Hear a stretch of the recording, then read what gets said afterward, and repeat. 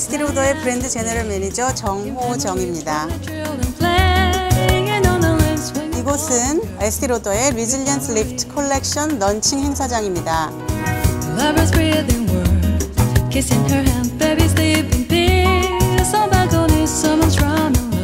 이 제품은 콜라겐 트리트먼트라는 애칭이 붙을 정도로 피부를 탄력 있게 만들어주는 24시간 리프팅 파워가 특징입니다. 동안을 결정짓는 중요한 요소는 피부 탄력과 얼굴 윤곽입니다.